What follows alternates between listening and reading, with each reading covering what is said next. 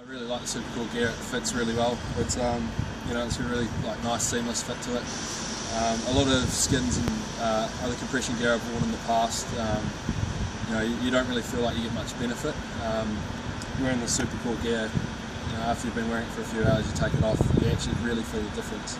You know, Supacore are great from, from um, my uh, experience. Um, you know, they're, they're, very different to what I've um, worn previously with the compression leggings and tops. But um, you know, they've got a very sort of um, tight sort of fitting, and it's, it's, it's very important